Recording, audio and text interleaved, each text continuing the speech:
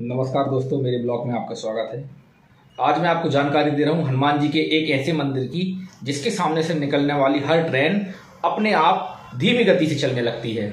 कोई भी ट्रेन यहाँ से जब गुजरती है तो उसकी स्पीड अपने आप कम हो जाती है।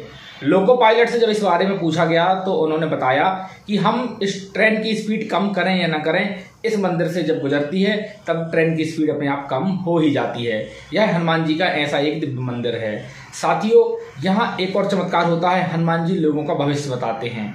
जी हाँ यह मंदिर है मध्य प्रदेश के शाहजहांपुर के पोलई गाँव में। मंदिर का नाम है सिद्धिपति वीर खेड़ा मंदिर। साथियों, यहाँ लोगों को उनके भविष्य का पता चलता है। जो लोग इस मंदिर में आते हैं, उन्हें उनके भविष्य में होने वाली घटनाओं का अनायास ही पता चल जाता है।